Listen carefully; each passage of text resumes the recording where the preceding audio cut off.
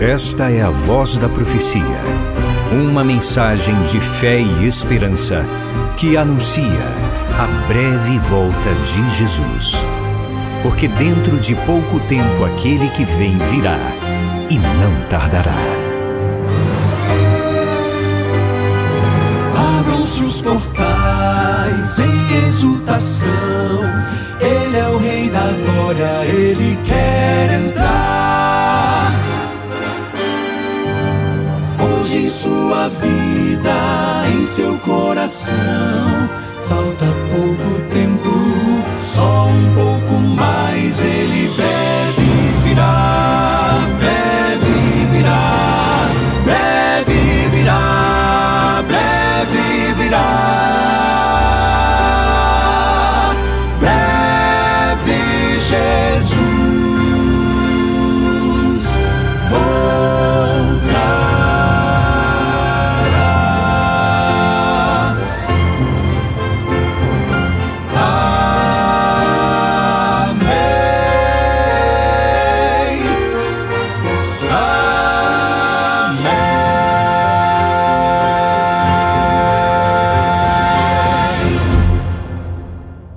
Hoje quero iniciar o programa mandando um abraço todo especial para amigos queridos que têm acompanhado as mensagens aqui da Voz da Profecia de muito longe. Sim, gente que está na Ásia, na Oceania, na África, na Europa, além, é claro, de outros que estão nos Estados Unidos, Canadá, outras, outras partes do mundo, né? Na, na América do Norte, na América Central e mesmo em países aqui da América do Sul. A gente se encanta de ouvir relatos. Como é maravilhoso isso! Saber que por meio da internet, uma mensagem apresentada aqui no rádio, ela pode alcançar gente que está nos mais diferentes cantos desse imenso globo. Deus abençoe você. Muito obrigado pelo carinho de sua audiência. Muito obrigado por você estar sempre acompanhando aqui estas reflexões bíblicas apresentadas no programa A Voz da Profecia. Estou com minha Bíblia aberta no Evangelho escrito por Mateus, capítulo 28. Leio os versos 16 a 20. Os onze discípulos partiram para Galiléia, para o monte que Jesus lhes havia designado. E quando viram Jesus, o adoraram, mas alguns duvidaram. Jesus, aproximando-se, falou-lhes, dizendo: Toda a autoridade me foi dada no céu e na terra. Portanto, vão e façam discípulos de todas as nações, batizando-os em nome do Pai, do Filho e do Espírito Santo, ensinando-os a guardar todas as coisas que tenho ordenado a vocês. E eis que estou com vocês todos os dias até o fim dos tempos. Esta é a chamada Grande Comissão ou a Comissão Evangélica, dada por Cristo aos seus discípulos. Jesus disse: Vão e façam discípulos de todas as nações, todas as partes do mundo, independentemente de nacionalidade, de etnia, de geografia, de idioma e batizem estas pessoas em nome do Pai, do Filho e do Espírito Santo e ensinem a fim de que eles guardem todas as coisas que eu lhes tenho ordenado. E Jesus, depois de dar essa ordem, ele faz uma promessa: E eis que estou com vocês todos os dias até o fim dos tempos. No contexto da Igreja Adventista do Sétimo Dia, da qual eu tenho o prazer de fazer parte, há três palavras que nos últimos anos têm guiado as ações da nossa igreja. E é claro que essas palavras podem guiar as ações de todos os filhos de Deus, de todos os cristãos. As palavras são comunhão, relacionamento e missão. Pela comunhão, Deus age em nós. Através do relacionamento, Deus age entre nós. E por meio da missão, Deus age através de nós. Outro dia ouvi alguém dizer: o sucesso de uma igreja não é medido pela quantidade de membros que entram para adorar, mas pela quantidade dos que saem para evangelizar. Charles Spurgeon, o grande pregador, dizia: Se você não está levando ninguém para o céu, é porque você mesmo não está indo para lá. Forte, não é? Vou repetir. Se você não está levando ninguém para o céu, é porque você mesmo não está indo para lá. O Senhor Jesus Cristo disse que as portas do inferno não prevalecerão contra a sua igreja. Mateus 16, verso 18. Verdade que ao longo dos séculos, homens, movimentos, movimentos filosóficos, políticos, militares, religiosos e até mesmo nações têm se levantado contra a Igreja de Deus com ataques ferozes. Alguns outros ataques são sutis, disfarçados até mesmo de religiosidade, de caridade, de amor, mas Jesus diz: eles não prevalecerão contra a minha igreja. Eles não a vencerão, porque a igreja de Deus é conduzida por Deus, o Deus onipresente, onisciente, onipotente. O Senhor Jesus Cristo também disse, você conhece, Mateus 24, 14: E será pregado este evangelho do reino em todo o mundo, para testemunho a todas as nações, então virá o fim. Foi Cristo quem disse que o evangelho do reino será pregado em todo o mundo. E se Jesus disse, assim será.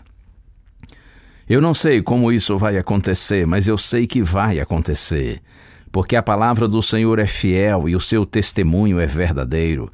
Em algum momento essa palavra do Cristo vai se cumprir e o evangelho do reino será pregado em todo o mundo em testemunho a todas as nações, então virá o fim. Em algum momento se cumprirá a profecia de Apocalipse 18, verso 1, e eu termino lendo esse verso maravilhoso. Eu disse Apocalipse 18, verso 1: Depois dessas coisas vi descer do céu outro anjo que tinha grande autoridade, e a terra se iluminou com a sua glória. Depois dessas coisas, vi descer do céu outro anjo que tinha grande autoridade, e a terra se iluminou com sua glória. No contexto profético do Apocalipse, nós entendemos que essa mensagem significa que um dia Deus dará um último chamado a toda a humanidade para que se volte para ele, e aqueles que se voltarem para o Senhor serão salvos. Os demais, evidentemente, se perderão. Porém, o Senhor iluminará a terra com sua glória, para que todo ser humano tenha oportunidade de fazer a sua decisão. Que o Senhor sensibilize você e a minha, nós todos, para que juntos sigamos cumprindo a missão que o Mestre nos confiou de anunciarmos o Santo Evangelho e certos de que essa missão terá bom êxito. Essa missão cumprirá o seu propósito, realizará a sua obra, porque a palavra do Senhor é fiel e verdadeira. Una-se ao Senhor, una-se à sua igreja. Seja um verdadeiro missionário, cumpra a sua missão e tenha certeza. Sua vitória está assegurada no Senhor. Vivemos nos dias finais Jesus logo vai retornar. Em meio ao caos, ao ódio e o mal, Deus precisa ver em nós um povo santo. Meio à descrença total, em meio ao ódio mortal, Deus precisa ter Deus precisa ver servos fiéis e leais.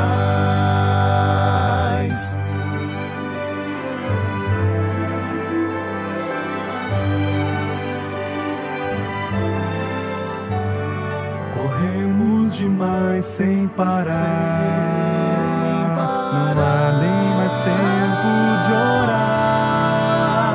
A vida sem Deus vazia e fugaz nos afasta mais e mais do que é certo.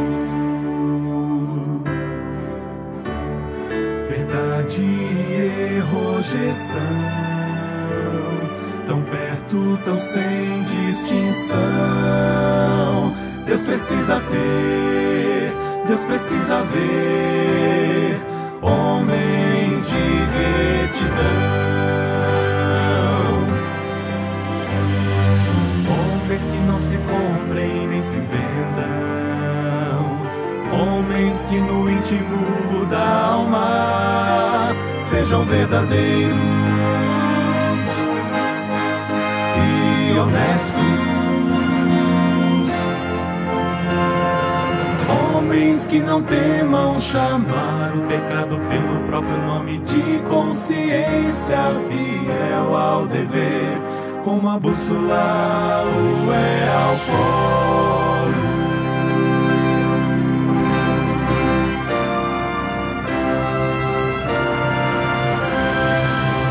Homens sinceros e humildes, homens de fé e coragem, que sejam firmes no que é reto, ainda que caiam os céus.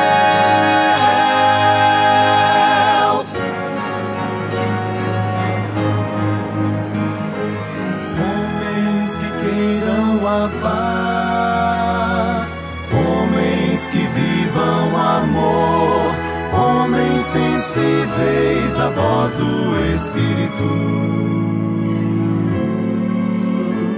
E sejam,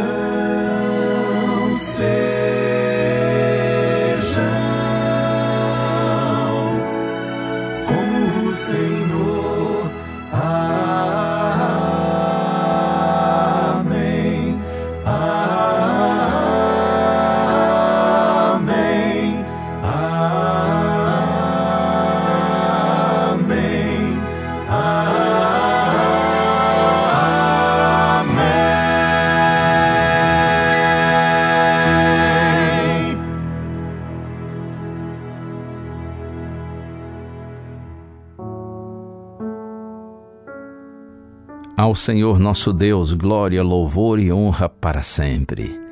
Ajuda-nos, Senhor, a vivermos em comunhão uns com os outros e todos com o Senhor. Que o nosso relacionamento com o Senhor seja profundo e verdadeiro por meio da oração, do estudo de tua palavra. Que a tua igreja também viva em unidade, em companheirismo, para que nos ajudemos uns aos outros.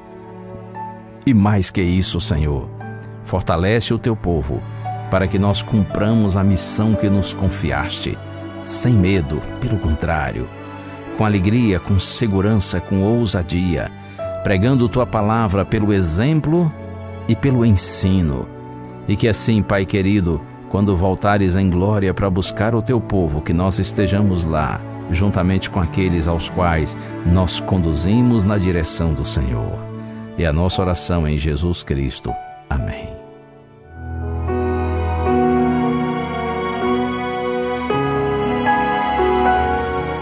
Uma bênção de Deus para você e a sua família.